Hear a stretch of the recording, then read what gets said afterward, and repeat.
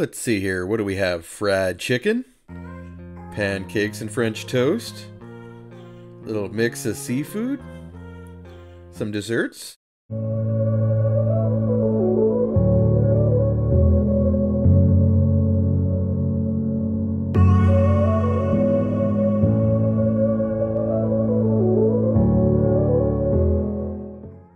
Circus Circus sits at the north end of the strip just past Resorts World. Known to be a kid friendly hotel with the Adventure Dome and Midway attractions, they also have a buffet. The Circus Buffet, as they call it, is open on Saturday and Sunday for brunch, and that'll run you $25.99 per person. And they're also open Friday, Saturday, and Sunday for dinner, and that will run you $27.99 per person. Definitely not a very big buffet, but it certainly does attract a big crowd. Today we'll take you on a walking tour of the weekend brunch and show you all the dishes that they offer. Please don't forget to like and subscribe to our channel. Also, drop us a comment below and tell us what you think of the buffet. Alright, let's take a look at all the dishes. First up is the omelet station. You can have an omelet made your way.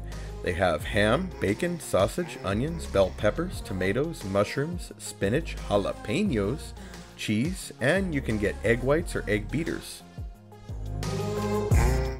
The omelet actually tasted pretty good, but that's because it was freshly made.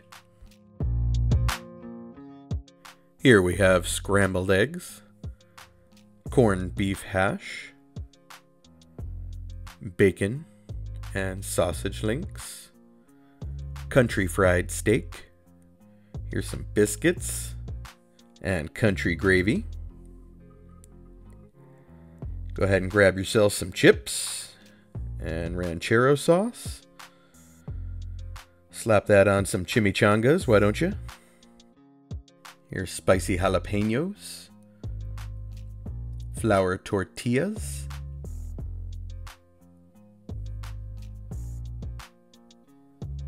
Spanish rice, refried beans, chorizo and potatoes, some taco meat with a runaway potato in it, the taco shells.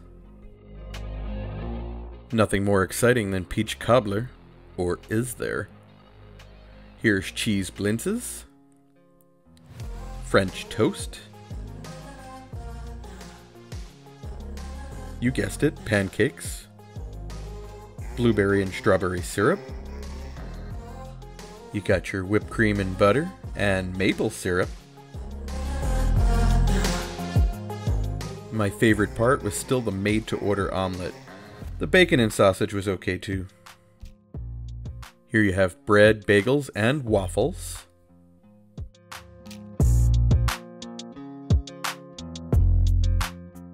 Some additional condiments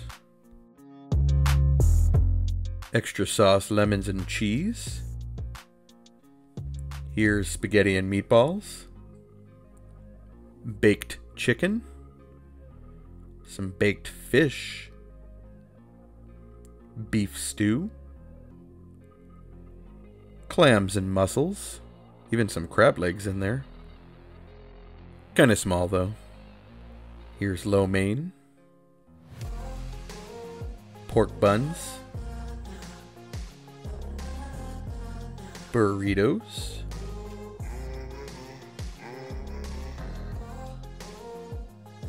Chicken fajitas. Mixed vegetables. Au gratin potatoes. Fried chicken. Fried shrimp. Brown and turkey gravies. Mashed potatoes the clams and mussels had a little spice to it, but it actually was pretty decent. The spaghetti sauce was a little runny, but the mashed potatoes were very buttery and delicious. Nothing classes things up like a ketchup and mustard station. Here's chicken noodle soup and Tuscan sausage soup.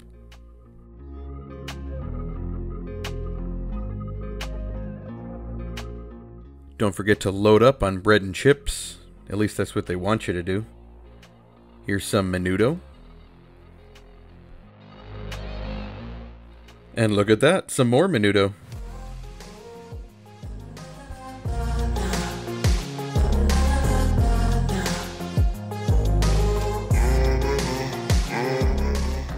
Here you got some cilantro, onions, and limes. Straight into desserts, there's some mixed fresh fruit, some cottage cheese, looks like canned mixed fruit, strawberry yogurt,